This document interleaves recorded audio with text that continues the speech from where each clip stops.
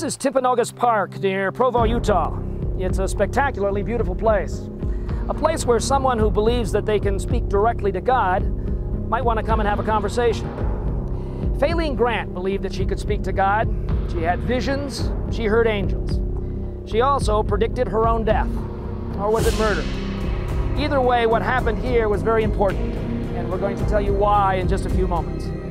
But until then, we want you to set aside all the assumptions about right and wrong, guilt or innocence, and follow a murder case from Gilbert, Arizona to the Celestial Kingdom.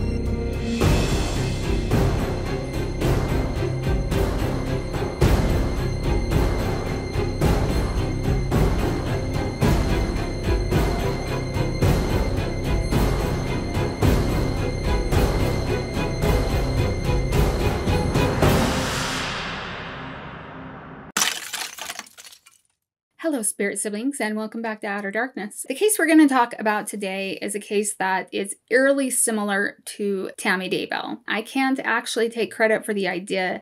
I had a subscriber in December mention this case to me, and so I put it on my list of cases that I wanted to look at. Finally, was able to get to it. This case was really interesting to read about. One, because it reminded me so much of Tammy Daybell, and two, because there were so many factors involved and family relationships and different conflicting stories and views. And then there was the actual evidence that also told its own story. So it is actually one of those cases where I don't know, you guys. I'm going to present both sides and you can make your own decision. I don't want to sway you one way or another, but I just, I, this, I don't know about this one. You know, I thought I was going into this and it was going to be cut and dry. It was going to be like a Chad Tammy situation. And I was going to be like, yeah, he definitely did it. But as I read more and more about Faylene's religious beliefs, her journal entries, her farewell letters to her family a few weeks before her death, and then the court documents, I was like, I don't know.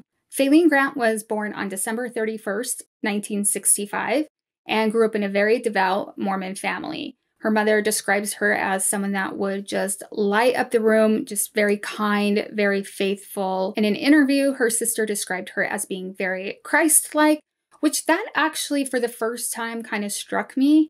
And I'm curious to know those of you that practice other religions, if it's common in those religions to try and compare yourself to Christ.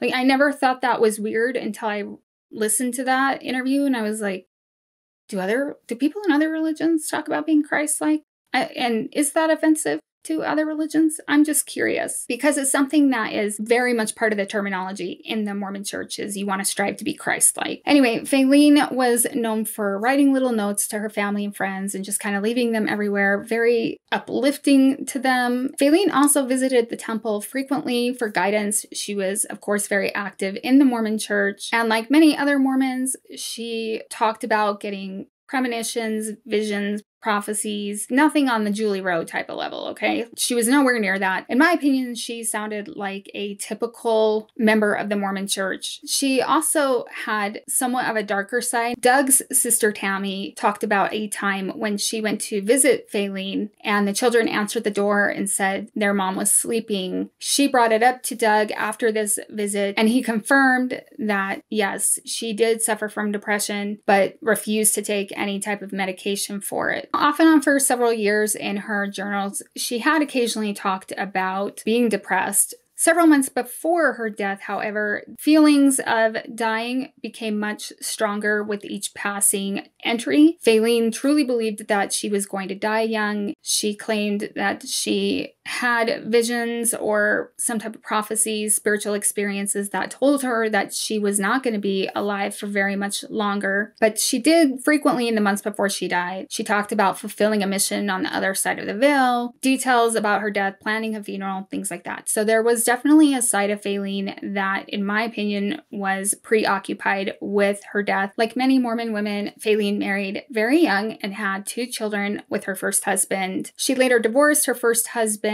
She had been to the temple and got a feeling that she needed to do that. It's not uncommon for people to go to the temple to seek answers and inspiration when they are questioning things in their life. And it is not unheard of for people to tell you that they had an experience in the temple that helped them decide what they wanted to do. That was completely normal growing up. I don't know how it sounds to people that have never been members of the Mormon church. In fact, you can listen to conference and they repeat it over and over about how the Holy Ghost can guide you to make decisions.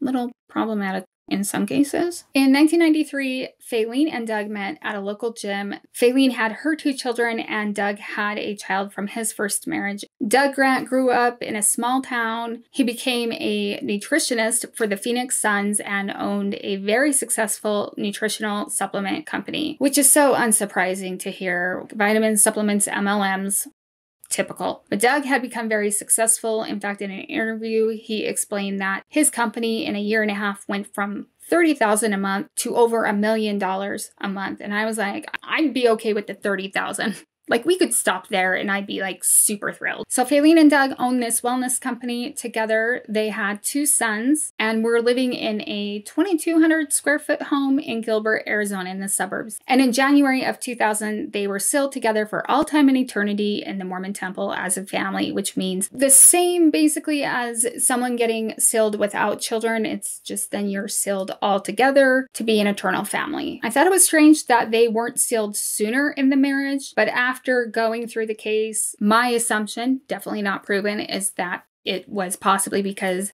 Doug had a little bit of a problem cheating and shit. Can't get a temple recommend when you're a philanderer. In June of 2000, Faylene did file for divorce, so only a few months after they were still together, she claimed it was because she was at the temple and received a witness that Doug was being unfaithful. According to Faylene's sister, Doug admitted to cheating on Faylene with six different women because he's a son of a bitch bastard. He was probably on Ashley Madison's customer of the year list or something like that. He was actually excommunicated while they were apart for having relations with Hillary DeWitt, a 19 year old receptionist for his company that he had met and fell in love with. So he was brought before a, at the time it would have been called a disciplinary council. Now it's a membership council and tried for excommunicate. Like, I don't know how else to explain it, but that was brought to their attention. They made the decision to excommunicate him. For the most part, it was because he did not stop after they said stop. To me, it sounds like Doug was a little bit of an addict and couldn't keep his Johnson in his pants. Doug had met Hillary in the fall of 2000. So after he and Faylene were divorced, their relationship was pretty serious. In fact, Doug stated in an interview that he was ready to ask Hillary to marry him. Doug and Faylene, because of their commitment to their family, they were relatively friendly after their divorce and got along well. They really put their children first. So while Doug and Hillary were bumping uglies, Faylene was going to the temple. She started talking more and more about these visions of hers and these feelings she would get. Now, her family says she never said that God talked to her or that she had seen a vision or that she was prophesying anything they claimed that she would just mention that she would get a feeling. I was only able to read like one journal entry, and then I read some entries that were quoted in articles and in the shows that talked about the case. To me, it didn't sound like she would just walk in there and go, I got a feeling I'm gonna die soon. She was very much using typical Mormon terminology. She even mentioned to a friend while Doug and her were apart that she wanted to stop dating someone that she'd become interested in because she was scared that she would leave him a widower. She was was already thinking she was going to die young. This was not a question to her or curiosity. Her journal entries revolved around her belief that she didn't have much time left. In July of 2001, Doug and Faylene traveled to Dallas. They were involved in a lawsuit with their company, and so they needed to go resolve that. During that trip, they started talking about the possibility of getting back together, even though Doug was dating Hillary. They ended with Faylene saying, you know what, it's going to take a miracle for us to get back together. You know, I'll go to the temple and I'll pray about it. And one thing you have to know is that families in the Mormon church are extremely important. Your eternal salvation involves your family. That is part of the plan of salvation. So it is last resort really to get divorced because when you are sealed to someone in the temple, you are sealed to them eternally. I don't think it's anything that is looked down on as much as it used to be. Nowadays, just so many people get divorced. I don't think people are nearly as judgmental. But if you really look at the doctrine and the teachings, you stick together for your family, your family's eternal salvation relies on your marriage, pretty much. And I know people that really believed that, like if their kid didn't go on a mission or became inactive, that they would be threatened with their eternal salvation. So, like maybe they wouldn't be able to go to the celestial kingdom, or they raised some kid that left the church, or that they would not be able to see their child in the celestial kingdom. So, it is a big deal. And I imagine that this was somewhat the motivation for Faylene and Doug to bring it up and start talking about it especially on Faylene's part. She was a single mother. She didn't really want to date, from what it sounds like, because she was afraid she would leave someone a widower. And I can totally understand wanting to get back together, even if you know in your heart it may not be the best thing. I mean, I did it for a couple years. Anyway, Faylene tells Doug, I'm going to go pray about it in the San Diego temple, and that's where she goes. While Faylene was in the San Diego temple praying about what to do, she claimed that she was told, like I was told, We've heard those words before, and they are very common words to hear. That is why I doubt when Lori Daybell says, I was told, when people will talk about how she would say to them, I was told, and they credit it to Chad. Are we sure about that? Because that's such a common phrase. I don't know. It could be, but I'm kind of thinking she meant, I was told by God, Jesus Christ, Holy Ghost. I mean, but Chad was a Holy Ghost at one point, so maybe she did mean Chad. So after Faylene is told she needs to get back together with Doug in the temple, she calls Doug and tells him this news. He's like, I was just with Hillary boinking and now you're telling me that you were told in the temple that we need to get back together for the sake of our family. We got to talk about this. So Doug, with his two youngest children, decides he's going to fly out to meet her so they can talk about this. And while they are in Southern California, they actually took the boys to Disneyland. On their way back from California, they were driving near Vegas. I don't know where they got the car because it sounded like they flew there, but I guess that doesn't really matter. Faylene apparently was driving and she missed a turn and she viewed that as a sign that they needed to get married married. They had already kind of decided on it, but she was like, we got to get married now. I missed the turn. That means we got to do it. Doug went along with it. He was a willing participant and they ended up pulling into Vegas and getting married at the Excalibur. When they got home, they told their family and friends that they had reconciled and remarried. Naturally, everyone was shocked as shit. Nobody more shocked probably than Hillary. Faylene's family was not thrilled about this decision. They really were not fans of Doug, and you can definitely tell in the interviews that they gave and in the court documents. Like, they pretty much were like, the dude's a scumball. The interesting thing is that her family also claimed that after Doug and Faylene were remarried, that Doug was kind of a pest, and their relationship became strained because they wanted to visit with Faylene without him, probably because they thought he was a piece of shit, and he was always around. That I thought was interesting because they didn't like him originally because they felt felt like he wasn't a very good husband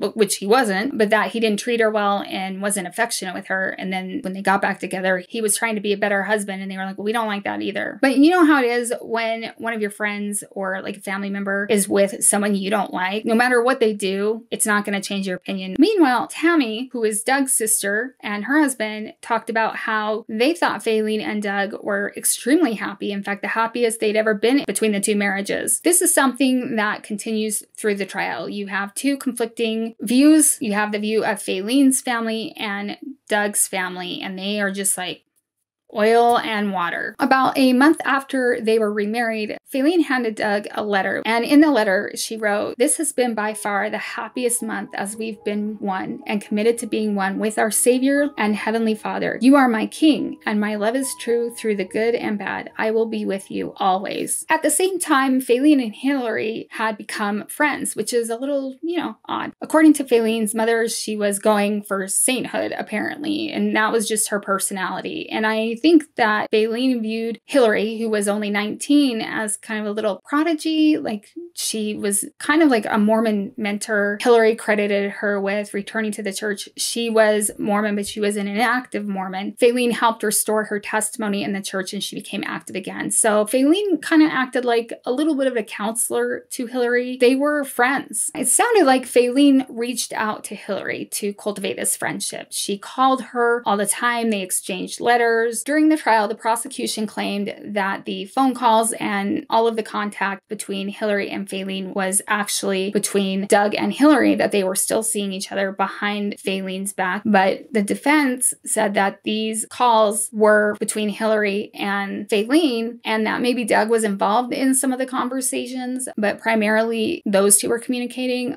On Doug's cell phone, though, so who knows? Soon after Faylene and Doug were remarried, Faylene started talking to Hillary about becoming the children's mother when she died. Because remember, Faylene believed she was going to die soon. She didn't think that she had much time left, and she really wanted her children to be taken care of, which is completely understandable. She felt Hillary would be an amazing mother to her children and trusted her. At the same time, Faylene was writing in her journal about her premonition or prediction, prophecy, whatever you call it. She she actually started planning her funeral in detail. She was serious about believing she was going to die. She talked about the fact that she would be able to help her loved ones, including her children, once she left Earth, and that she was planning on waiting for Doug and Hillary in the celestial kingdom. During an interview with 48 Hours or 2020 or Investigation, I don't know because they all re air each other's programs, but during an interview, the journalist asked Hillary what she thought Faylene meant and what she thought Faylene believed. And Hillary said, I think she saw us all as a family. I think she did. I think she saw us as, you know, an eternal family. Now, this might seem weird to a lot of you because it's basically polygamy, right? And didn't the Mormon church stop practicing polygamy? Wasn't that the whole reason for all of the offshoots? And what's going on with that? I thought they didn't practice it. Well, not on earth. According to Mormon doctrine, polygamy will still be practiced in the celestial kingdom. It is something that will, I believe, only be practiced in there because that is the only place you can be a forever family is in that kingdom. And if you have been married in this life, when you die and go to the celestial kingdom, like most Mormons believe it, I find it a little bit funny because they seem to all be quite sure they're going to go to the celestial kingdom. Anyway, so if you go to the celestial kingdom, which means you have taken vows here on earth. You've gone through all of the covenants of the temple. You are sealed in the temple. You wind up in the celestial kingdom. And at some point, God's like, hey, time for you to get a few more wives. And you, as a wife, apparently completely accept this and then just go sit on a cloud and spit out spirit babies. Now, a lot of uh, members of the Mormon church will say that anybody can experience this, but in the scriptures, it does say that you are only entitled to this eternal family and running your own kingdoms on different worlds, stuff like that, you know, all stuff that they deny now, that is only available to people who are sealed in an eternal family. So you can't like die, then go to the celestial kingdom, which has been taught more recently. The scriptures actually say that you have to be sealed on earth in order to obtain exaltation. Exaltation is just another word for godhood. On September 5th, 2001, Faylene wrote the following in her journal It just touched me that this is another reason I must have faith in Doug's vision. He dreams it every night now, that I will get to the celestial kingdom because this is where baby Nicole is in the pre existence. Now, this is significant to me me because the prosecution used this as evidence that Doug was the puppet master and that it was actually him that was manipulating Faylene into believing that she was going to die soon and that this vision that he was supposedly having was kind of urging her, like, hey, you'll go to the celestial kingdom if you just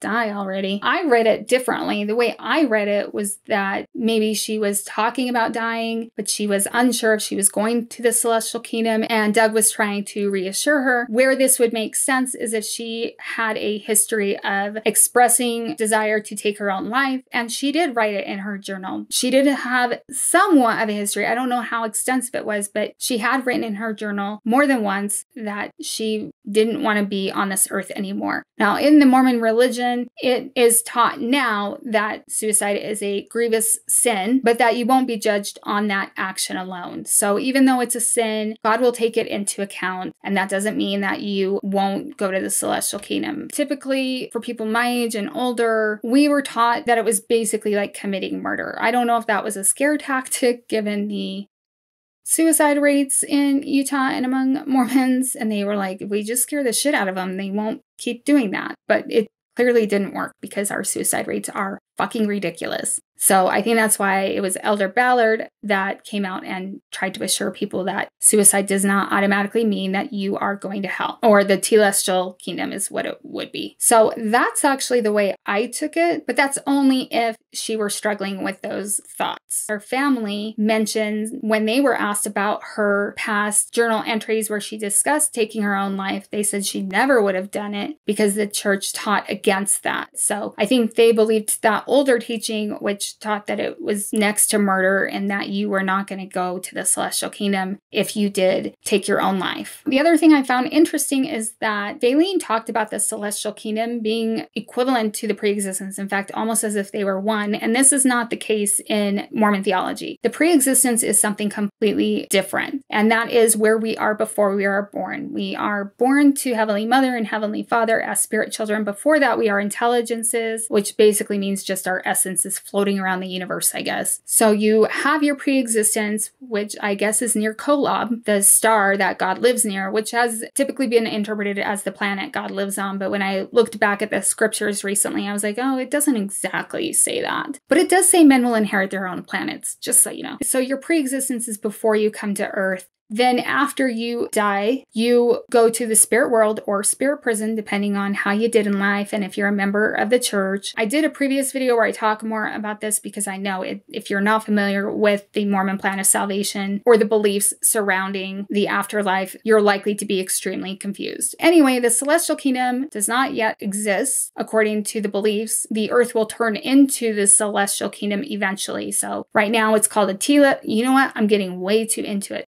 All you really need to know is that they're not the same thing, which I found a little bit interesting, and that the Celestial Kingdom isn't even here yet. Baby Nicole is actually the baby girl that Faylene said that Doug and Hillary would have after she left this earth. She told Hillary that they would be together as husband and wife after she was gone and that they would eventually have a baby girl named Nicole. In fact, she planned when she was making her elaborate funeral plans in her journal, her desire, and she mentioned this in the journal and in the letters that she wrote to them, that she wanted to see Hillary and Doug as husband and wife at her funeral. She wanted them to get married immediately after her death. She wanted Doug to almost like introduce Hillary as his new wife at her funeral. I'm like, no, I don't think you can dispute that Faylene believed not only that she was going to pass away imminently, but that Doug and Hillary were meant to be together. Again, the prosecution would say that she only felt that way because Doug was manipulating her that entire time. If you go back in history, Faylene wrote about these things in her journal even before she met Doug or when they were together the first time. And she, of course, was talking about her death and writing about it while her and Doug were apart. So I don't don't see necessarily where he would have completely manipulated her, but he could have, right? They could have gotten back together, and according to the prosecution's theory, this could have been his tactic. The prosecution definitely made her look like she was just the type of woman that would just go along with her husband and that she was easily manipulated. Faylene also wrote in her journal, I am choosing to give up the life I have that is perfectly the way I want it. I finally have a husband who treats me with love and respect that is even beyond what I could dream of. In the days just before her death, Faylene wrote farewell letters to several members of her family and friends. So she was definitely thinking it was going to be any minute. In these letters, Faylene also wrote, I've had the knowledge given to me that my time on earth is very short. Well, girl, this is it, my last letter since I don't think they have mail delivery from where I'm going. I do know we'll still be together in the spirit, and that comforts me. I also know the time will pass quickly and then we'll all be together. On September September 18th,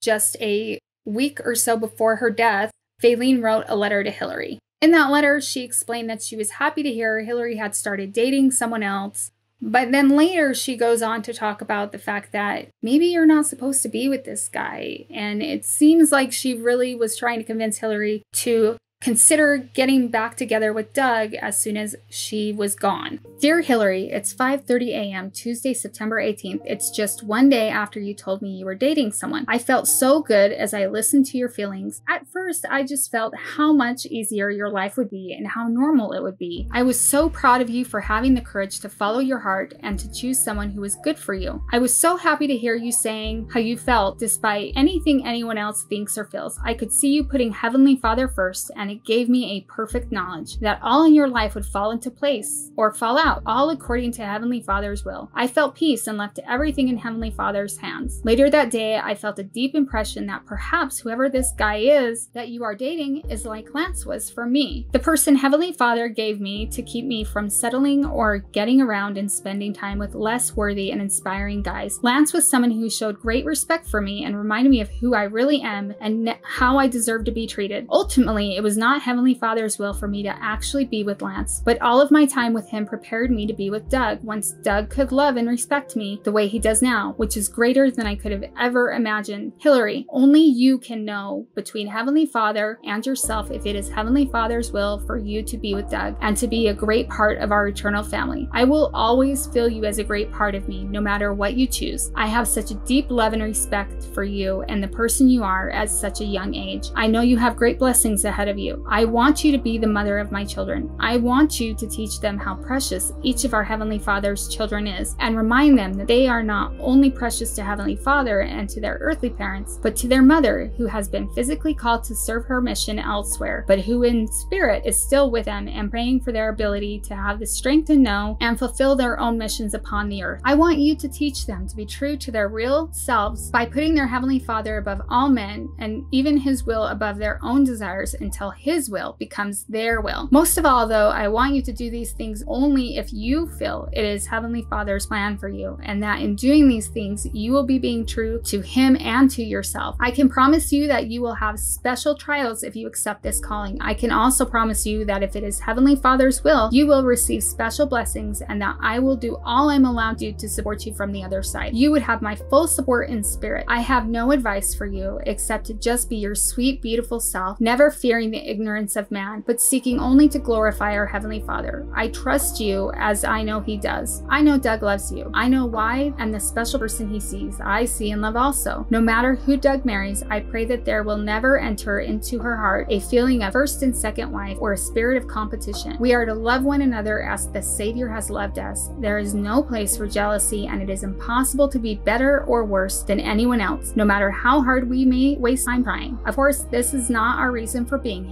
to lift ourselves above or place ourselves below others. Our whole purpose is to become like our brother, Jesus Christ, and through his gifts of forgiveness and repentance, help those around us to do the same. I feel such peace that you would know of my respect for you and know of my desire to be equal partners, playing different roles in the lives of our human family. I feel a oneness with you as I see your desire to serve our Heavenly Father and His Son Jesus Christ. No matter what, I know above all else how much I love and admire you and wish for your happiness. I pray Heavenly Father will bless you with all good things, with beauty, love, faith, hope, and peace. Love always and forever. Faylene. On September 23rd, 2001, just a few days before her death, Faylene wrote another letter. She wrote this letter while she and Doug were on their second honeymoon. They had decided to go to Nauvoo, Illinois, which is very special to Mormons, and there is a lot of history regarding the LDS Church and its origination. In this letter, Faylene wrote, I know I will be here with my body until it is buried. I've had a secret hope and desire for several weeks to see you both married so that I could be there. For some reason, the desire to see you sitting together as husband and wife at my funeral has been so strong. I pray your home will be protected from the adversary and filled with the Holy Ghost. Faylene and Doug were only in Nauvoo for a day when she told Doug that she wanted to go to Utah and visit Mount Timpanogos. In, um, I believe it's American Fork Canyon. There are so many canyons to keep track of. It is a common tourist attraction. There are beautiful trails. There is the Timpanogos Cave that a lot of people like to go visit. Doug agreed and they left Nauvoo and flew to Salt Lake City the next day. So on September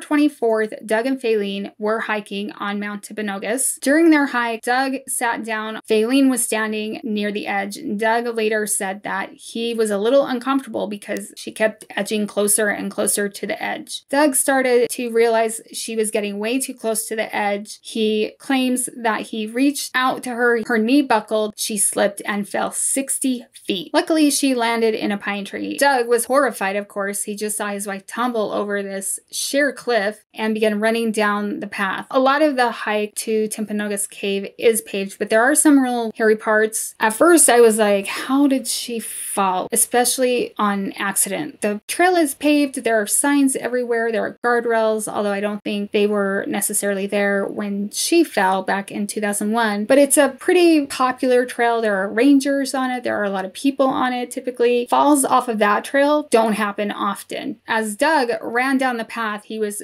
sure that Faylene was dead. He did not imagine that she could have survived that fall. As he got to the bottom of the trail, he looked around to find Faylene standing up. She was a little dazed. One of her eyes was bleeding and a little like disheveled from falling off a 60 foot cliff, but she was alive and didn't have any broken bones. After her fall, Doug rushed Faylene to an emergency room in American Fork. Faylene was in the emergency room for about an hour and a half, treated and released. The doctor would later testify that he was suspicious that she actually fell that far because she was relatively uninjured. At first, I was like, I don't even know how you would survive a fall like that. But then I was reading an article that said an 11 year old girl had fallen off a 100 foot cliff at Timpanogos and had lived. So it's definitely possible to fall that far and live.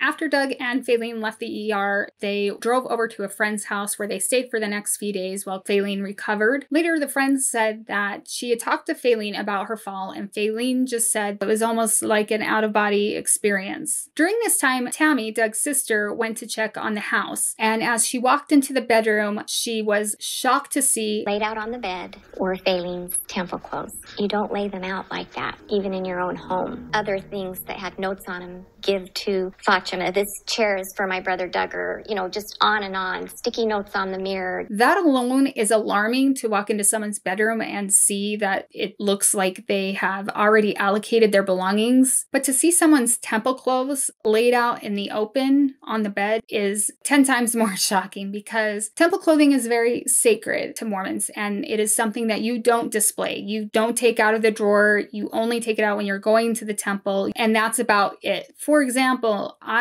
once found my mom's temple clothes because she didn't hide them very well. I started to put them on and she came into her bedroom and was horrified. Like you would have thought I ruined our family's entire celestial salvation. So it's understandable that Tammy was completely alarmed. One of Faylene's notes mentioned that she was sure she was going to die. Tammy, after she saw this, was so upset that she called her husband. She was terrified that Faylene had tried to take her own life after seeing this. She knew about Faylene's history of depression, and so for her, this was a sign that Faylene was just not well. Tammy would also later state that it was more than what Faylene's family tried to portray, which is just, you know, everybody gets depressed. It wasn't that big of a deal. She wasn't chronically depressed, but according to Tammy and her husband Doug had tried to get her help several times and she refused that along with being prescribed antidepressants. So I think she was very much in the mindset that she could overcome depression by herself. And to me, when I heard her family talking about it, I kind of feel like she was raised to believe that depression shouldn't be an issue. Like you should be able to just get over it. Like we all know those people. There is a journal entry to support this that Faylene wrote. I then tell Doug I need help and how I am feeling and why, and that I'm suicidal, and that I think of crazy things to do to myself, and that I need his help. He says he doesn't know how to help me. I see he isn't feeling what I feel, and it kills me. Well, finally, Doug grabs me and gets on top of me on the bed, and I'm trying to say, Leave me alone. You don't love me. I'm just a failure. Should just admit it and quit hurting me. On September 26th, after her fall, Faylene and Doug flew home to Arizona. And according to Doug, Faylene had stopped talking about these visions. She was no longer constantly talking about her impending death. It was almost as if this fall had woken her up and everything was fine. Only everything clearly wasn't fine and wouldn't be fine the following day. When they arrived home, Faylene was in a lot of pain. She couldn't sleep. She was really hurting. And we all know that if you've ever been in an accident and been injured, that it's usually like the second day where you're in more pain than when it initially happens. After seeing how much pain Faylene was in, Doug called a friend, Chad White, who was a physician's assistant that Doug knew well. Chad came by the house and examined Faylene. He prescribed her some Ambien, gave her a shot of Toradol, and then also prescribed some painkillers for her which I think is pretty typical. In the trial, it was said that as Chad was leaving, he told Doug not to fill the Ambien quite yet, but Doug went out immediately and filled all of the prescriptions. The prosecution would later point to this as a sign of Doug's guilt. In my opinion, depending on the situation that was going on, and it sounds like at that time Doug's parents were there to keep Faylene company, I would probably do the same. Just go out, get it filled, and then if for some reason she didn't need it, you at least have it just in case. Faylene went to bed early that evening, and around 8 p.m. that night, her 11 year old daughter, Jenna, came home from a friend's house. Their two younger sons were also there. Doug would later say that he remembered Faylene waking up at one point during the night in a lot of pain, but he didn't remember if she had taken any medication. Again. A few hours later, he woke up again to see Faylene walking toward the bathroom, and she told him that she was going to get in the tub. Doug fell asleep apparently right away after this because Doug is kind of clueless. Later, Doug woke up and claims that he saw Faylene unconscious in the bathtub. At 7:46 a.m. on the morning of September 27th, Chad White called 911 on his way to Doug and Faylene's house. Doug had called him frantic and told him to come over. Chad was kind of puzzled because he didn't understand why Doug didn't call 911 first, and he mentioned this in the 911 call. Is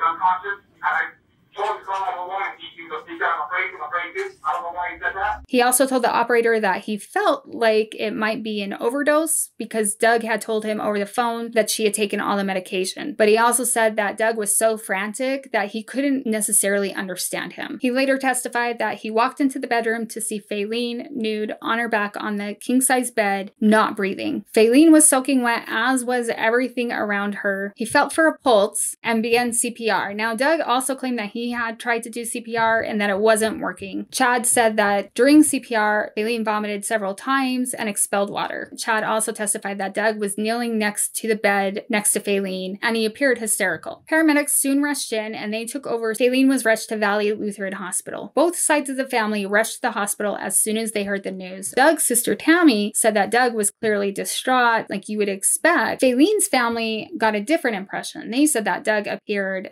like nervous and jittery and that he wouldn't go hold Faylene's hand. He wouldn't even go near her. And they just felt like something was going on. Faylene continued to deteriorate throughout the day. And at 4.37 p.m., she was taken off life support and passed away. Jenna, her 11-year-old daughter, would later describe the devastation she felt leaving the hospital after her mother died. And Faylene's sister, Shirlene, would later recall what happened, telling the reporter that Doug took Faylene away. When the reporter questioned her, she said that the family had planned on getting an analysis from the doctor the following day, but that Doug had convinced the nurse to turn off the life support and to stop resuscitative efforts. I thought this was kind of suspicious because I don't think a nurse can do that. I think it's pretty much only a doctor that can call it and that there has to be more involvement in that situation. But that's what Faylene's sister said. When the initial investigator arrived at the scene, he said that nothing appeared out of place or suspicious. It appeared to him that Faylene's death was accidental, and so an investigation wasn't done. Just three weeks after Faylene died in October of 2001, Doug and Hillary were married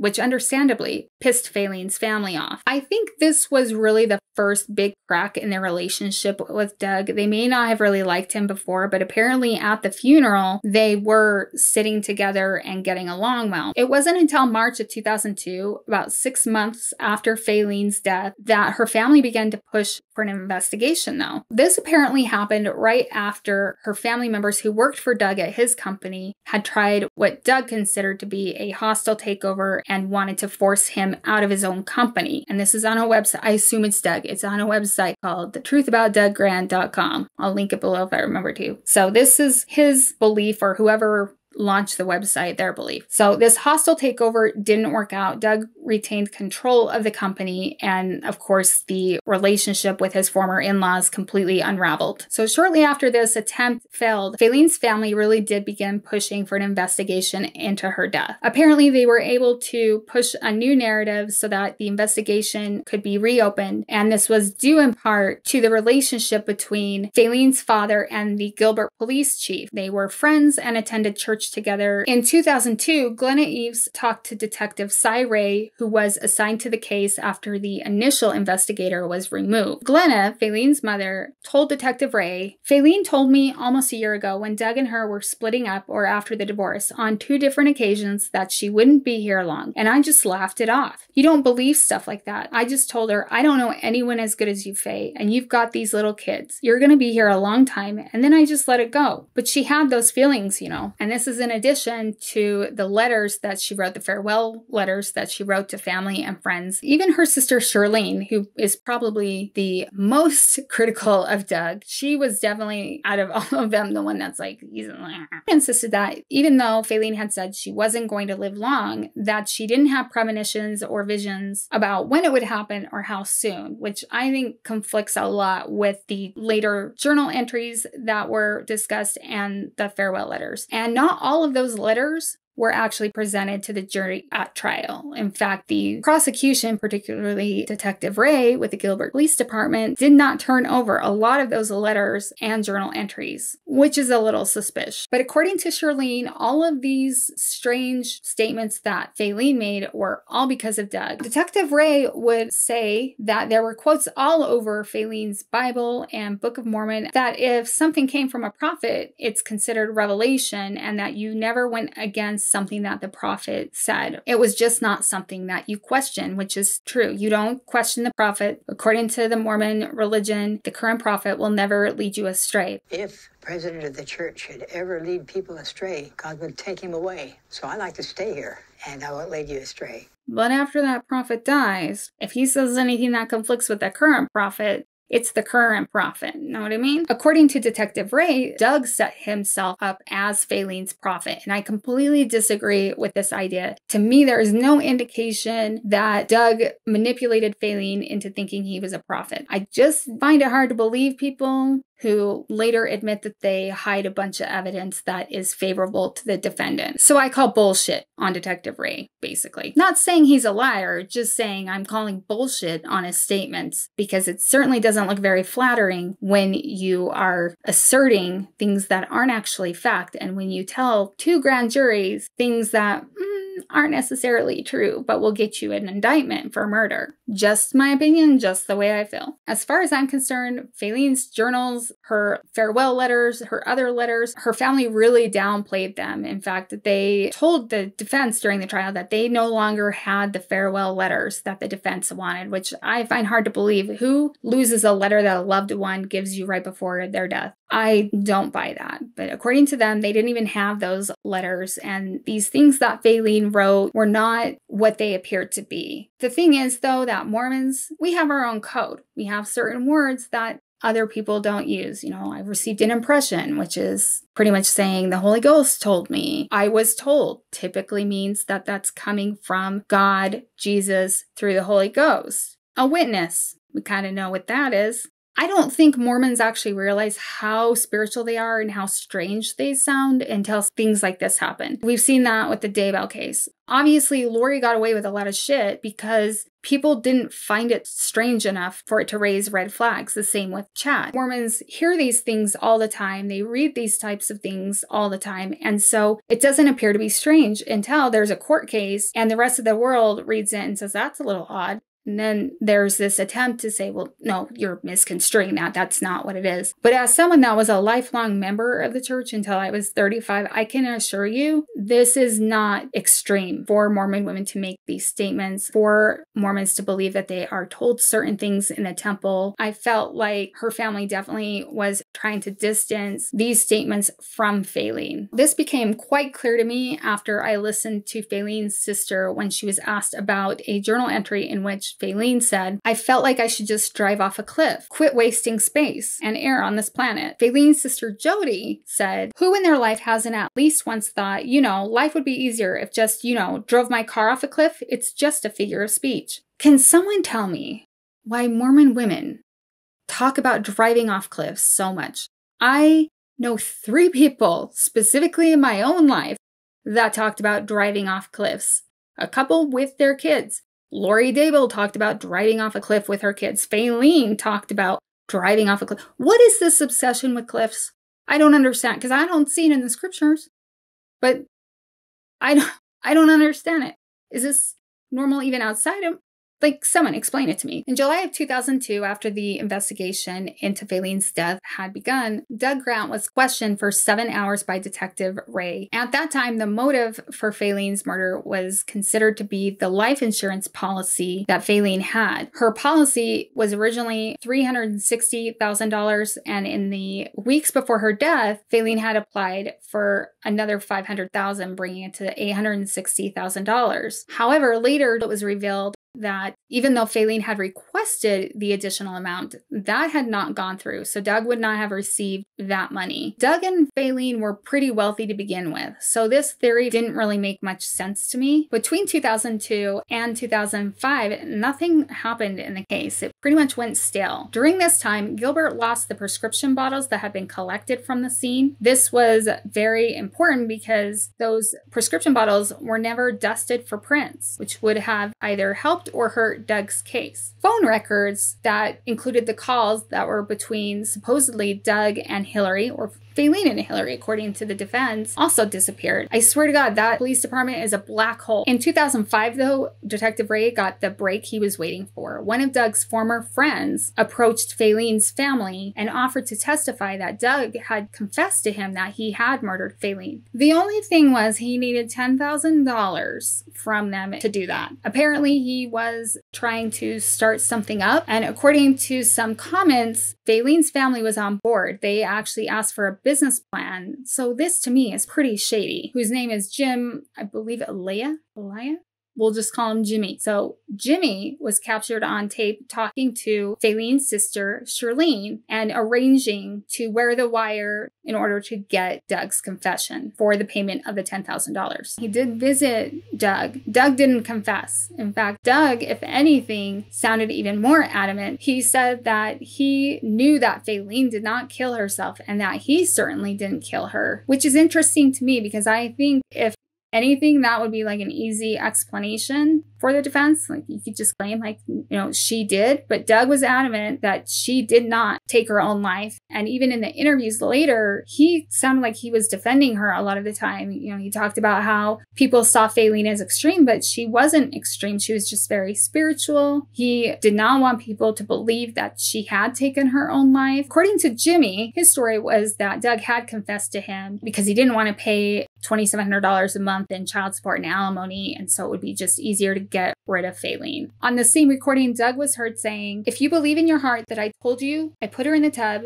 and then I put her to sleep, that is basically saying I killed her. That is the most ridiculous thing on the planet. In July of that year, Detective Ray, the only witness, appeared with the prosecutor in front of a grand jury to present evidence regarding Doug's guilt. Testimony from Jim Elia was really the only information they had, along with several statements made by Ray. Detective Ray made a pretty good case in front of the grand jury, despite the fact that it was misleading. He talked about the fact that Chad had told Doug, you know, not to fill the Ambien prescription right away, but that it was Doug who brought up the prescription in the first place, leading the jury to believe that it was all Doug's idea to prescribe this Ambien. Now, later during the trial, Chad White would testify and say, no, it was my idea to prescribe her the Ambien because she couldn't sleep. I told them to try the Soma first that he had prescribed, and if the Soma didn't work, to try the Ambien, but to contact me before that. Obviously, that wasn't done because it was Ambien that was found in Faylene's system. I think the biggest strength that Detective Ray had going for him was the fact that Doug Doug and Hillary got married three weeks after Faylene was buried, which I agree, that does not look great. Ray claimed that his star witness, really the thing that this case hinged on, had a confession from Doug Grant. While he mentioned two journal entries, he didn't say anything about farewell letters or really anything about those entries at all while he was presenting the evidence. Because, of course, that's not really the evidence you want to provide when you're trying to get an indictment from a grand jury. He also insinuated that Doug had possibly been the one to either convince Faylene to jump off the cliff or that he had pushed her. According to Detective Ray, Doug didn't want her to be alone. He was strangely protective of her. She wouldn't talk to people, so he tried to imply that this was possibly a domestic violence situation. Detective Ray never mentioned her prophecies or her beliefs because in his mind, it was Doug that convinced Faylene to have these visions, dreams, or whatever. Doug, according to Detective Ray, was a puppet master. Another thing that was very damaging to the defense evidence was the fact that Doug and Hillary met in the park the night of Faylene's death, which is questionable. A witness, one of Hillary's friends, said that Hillary had told her Doug had grabbed her hips during this meeting and told her how much he missed them after giving her some cash and telling her that her life was going to change now that Faylene was gone. Doug did give Hillary money, but he also gave her a letter that Faylene had written. The grand jury sent the indictment 13 to 0 for first degree murder for Doug Grant. In 2006, the prosecution's star witness, Jim Alaia, whatever his name is, he did recant his entire testimony. He said, you know, dude's an asshole, but he never confessed to me. And I was like, he's not the only asshole. According to him, he was taken down to the station by Detective Ray after Ray was tipped off. Detective Ray coerced him and pushed him to wear a wire to get this confession from Dunn. In 2006, the case was being heard by Judge Talamante with the Arizona Superior Court, and he actually returned the case to another grand jury because he didn't feel like there was enough evidence. I guess this is something that is rarely done.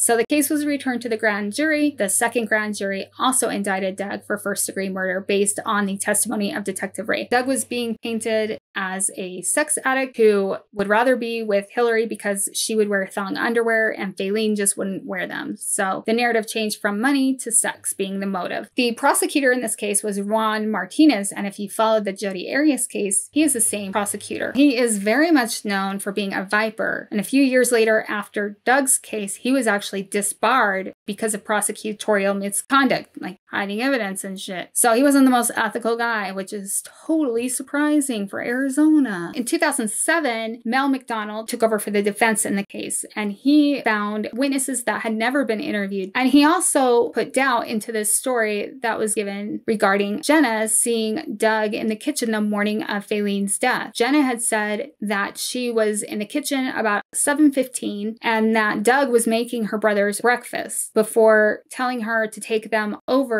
to a neighbor's house. A neighbor later testified that Doug had sent her over with the boys, but that the boys were hungry, like they hadn't eaten breakfast, and that after Jenna and the boys came over, she ran over to Doug and Faylene's house and found Doug to be quite hysterical and not at all the way that the prosecution portrayed him to be. Finally, the trial began in 2008. It was a shit show pretty big shit show. The most damning thing of all of the evidence that the prosecution entered, in my opinion, is the testimony of Jenna. It had been seven years since her mother's death. Jenna was now testifying that the morning of Faylene's murder, she had gone to the bedroom and tried to open the door, but it was locked and she had tried to jiggle the lock. And then she said she heard sounds of what she felt like was her mother being drowned by Doug. There was no way for the defense to look at the toxicology or tissue samples or blood at that point to either refute that or confirm that because the lab had destroyed everything. Apparently, the prosecution had never flagged the samples, letting the lab know that the death was suspicious, although they had convinced the medical examiner to change the cause of death from accidental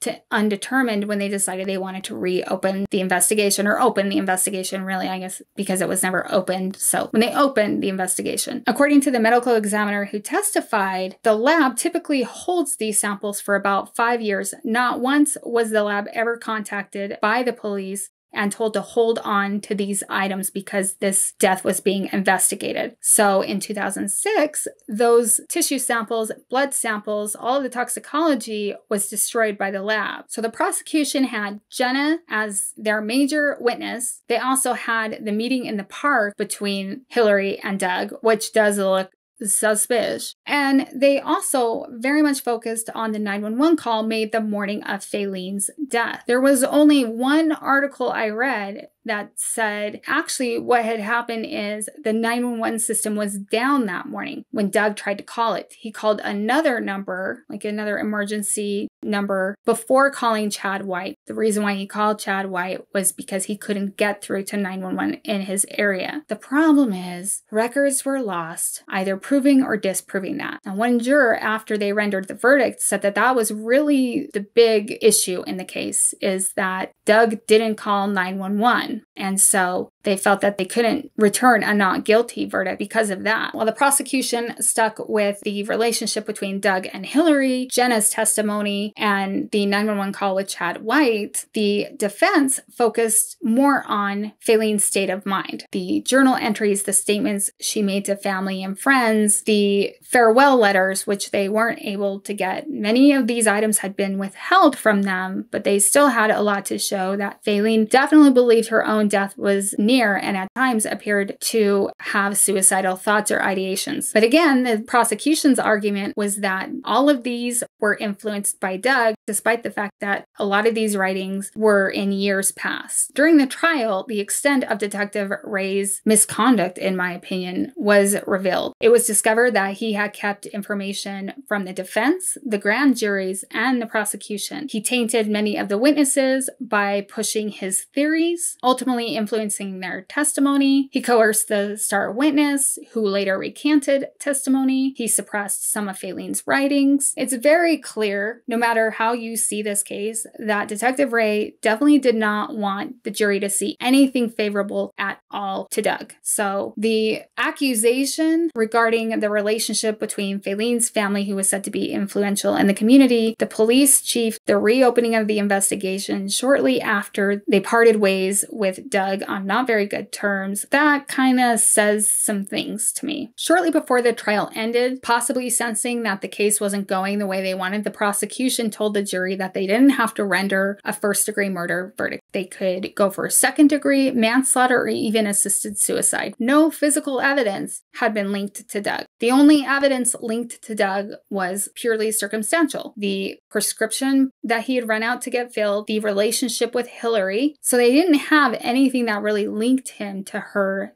death. So, after 14 days of deliberation, the jury finally did render their verdict and they found Doug guilty of manslaughter. While Doug was in prison serving a five year sentence, Faylene's family filed a multi million dollar lawsuit. The judge in this lawsuit allowed evidence that was inadmissible in the criminal trial. According to the judge, it was highly unlikely that Doug had murdered Faylene, and therefore he wasn't going to award any punitive damages. In 2011, Jenna filed a lawsuit preventing Doug from earning any type of royalties off of a future book? I don't know. The lack of physical evidence to me is very concerning. I can't help but wonder as far as motives and statements. It was very apparent to me that Faylene believed that her death was imminent. I'm not sure if she was planning on taking her own life. People can have those thoughts and those thoughts can change. So I don't think it's fair to say that she was and that this was a suicide. If anything, maybe it was some recklessness. Maybe it was wanting to fulfill a self fulfilling prophecy and it wasn't necessarily a conscious decision. Likewise, Doug, I don't know. Faylene's brother mentioned at one point that Doug could turn on the waterworks whenever he wanted to because, you know, he was this entrepreneur and so he would get on stage and have these tragic stories that he would tell and he could just turn on the tears. And I can kind of see that during the interviews that I watched. He definitely appeared to have waterworks going fairly easily. That doesn't mean that he wasn't emotional. I mean, I know men who are very emotional. So I don't think that points to necessarily his guilt, but it is something I took a little note of. Other reports mentioned the fact that they didn't feel like Hillary was emotional enough. And I felt like that at the beginning too. But then I realized how red her eyes were, how stuffy her nose was. And then you did see tears later in that interview. So I do think that her emotions were genuine. I do believe that Faylene and Hillary had a genuine friendship. I think that Faylene really wanted her children to be taken care of and that she felt Hillary was the best person to do that. I think Faylene believed with all her heart that she was going to die, whether she made the decision or not. I don't know when it comes to this case. I can see it going either way. We don't have any physical evidence. You know, none of the samples were testable, they disappeared. Like, who, if you're investigating a suspicious death, isn't that one of the first phone calls you would make? Like, hold that tissue sample, hold that blood work because I'm investigating this. That doesn't make any sense that for five years, Gilbert police, as they're investigating a case, just wouldn't think to call the medical examiner's office or the lab. So weird. Oopsies. Like, that's a big oopsies. One of the biggest red flags is the missing journal entries, the missing farewell letters. I can also see that, say, you're in that situation and you know for sure this guy is guilty. You also know that these letters don't exactly make him look as guilty and that if they are entered into evidence, there's a chance he could get off scot free. That's a pretty big motivation to not necessarily being forthcoming. I can definitely understand that and empathize with that. That would be a really hard decision for me to make, to tell you the truth. You can't ignore the behavior of the prosecution and Detective Sy Ray, who, by the way, was promoted to sergeant for his work solving the case, which I don't think he did, but go ahead and pat yourself on the back, kiddo. I want to hear what you guys think, though. Me personally, at the very least, I agree with the manslaughter conviction, only because I think if there really were all of these warning signs, the fact that he fell asleep knowing his wife had taken powerful medications and was about to draw a bath is like just kind of dumb. I understand being tired. I once fell asleep breastfeeding one of my children and I woke up and that poor kid that I mean just all over the bed. like, poor thing. Luckily, he was fine, very full. I almost wonder if it was a situation where he was just letting it happen, where they had talked about it so many times that he didn't try and prevent it because he was like, oh, I guess that's what's supposed to happen. You know what I mean? I could go either way on this particular case, but it is eerily reminiscent of Tammy Daybell's alleged murder. Thank you for visiting me today and listening to me ramble and remember who you are and what you stand for. If I could say something to Doug, I would tell him that my mom's not going to be at my wedding. My mom hasn't been able to meet my first boyfriend. She's never going to be able to see her grandchildren. I still have dreams about her and I still feel her with me. I see evidence of her her workings in, in my life.